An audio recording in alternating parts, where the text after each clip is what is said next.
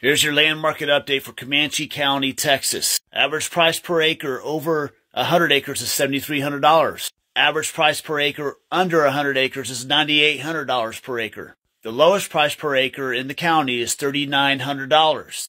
What county do you want updated? And if you're looking to sell, let me know.